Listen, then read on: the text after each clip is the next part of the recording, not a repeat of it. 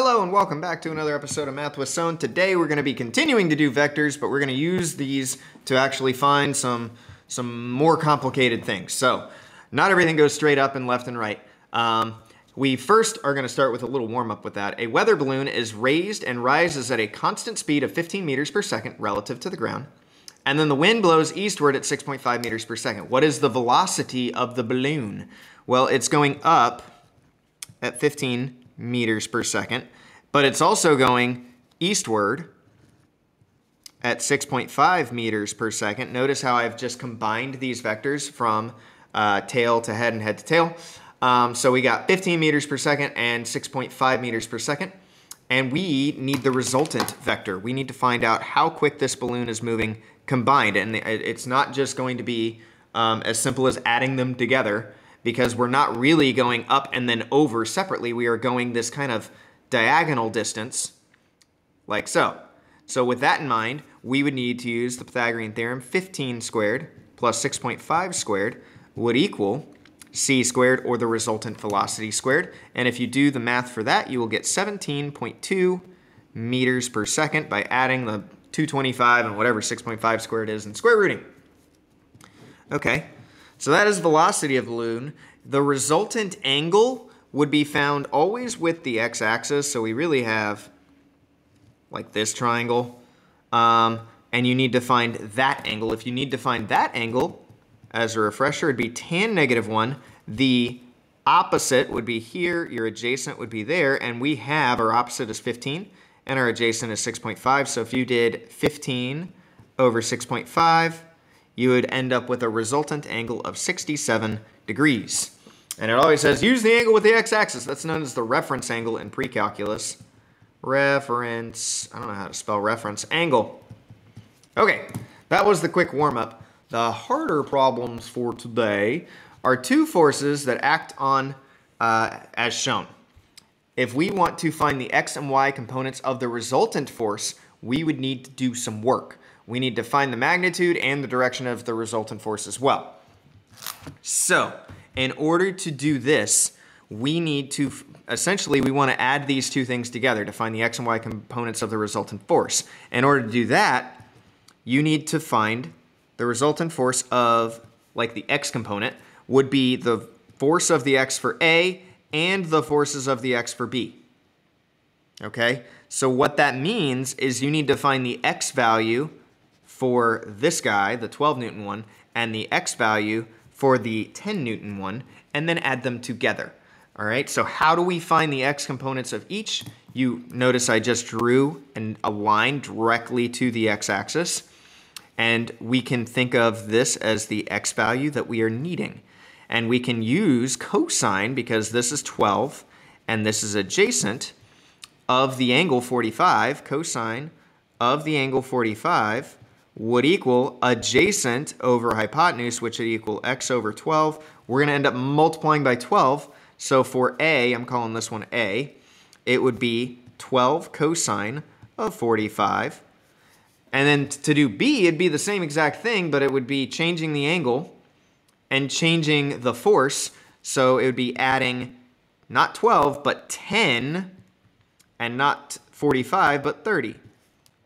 And if you do the resultant math from that, you can get the resultant of all the x components is equal to do do do do time out negative 10. Why is it negative 10? Are we going in the positive direction over here? That would be a negative x. So be careful that you are paying attention to direction because these are caring about directions with that.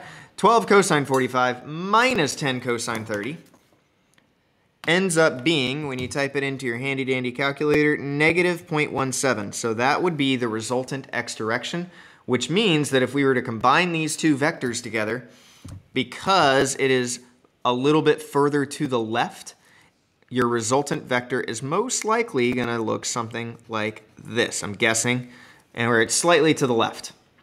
Okay?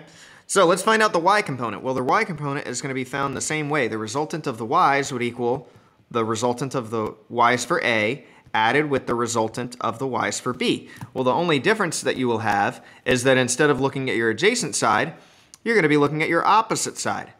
And your opposite side is going to be found with sine instead of cosine. So if we did that, the resultant of the y's would be essentially equal to sine of 45 um, equals opposite over a uh, hypotenuse, which would be y over 12, which we would multiply by 12. So it would be 12 sine of 45.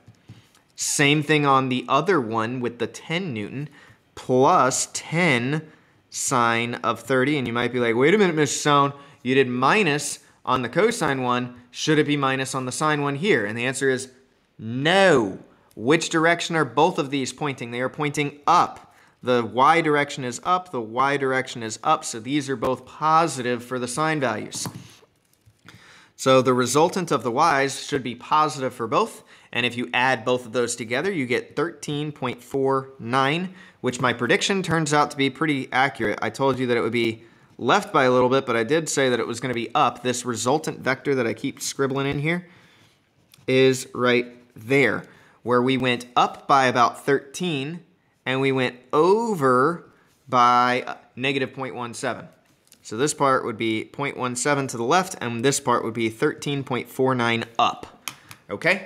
Find the magnitude and the direction of the resultant force. We have just now found the x and y com uh, components of the force, which actually goes pretty quick. You're going to get quicker and quicker at this because you may notice it's kind of just a formula, okay? It's the cosines and the sines of both. When you want to find the resultant magnitude, that indicates the hypotenuse of this new triangle that I drew, we would need to do the, uh, the Pythagorean theorem, and then the resultant direction of the force would be using our angle that would be needed as well. So let's start by finding the hypotenuse. That would be 13.49 squared plus technically negative 0.17 squared would equal the c squared or the resultant um, magnitude squared. So if you do that math, you end up with do, do, do, uh, pretty close to 13.49. You end up with 13.5 for the resultant magnitude. So that means that this hypotenuse right here is 13.5. In order to find the direction of that resultant force, we are looking for the angle in between. So I'll redraw it over here because I'm out of space. We have 13.49 here. We have 0.17 there. We need the angle of that resultant force. And if we do that, we would end up with tan negative 1 of 13.49 over negative 0.17. You do the math for that. Tan negative 1 13.49 divided by negative 0.17, and you end up with technically negative 89 degrees.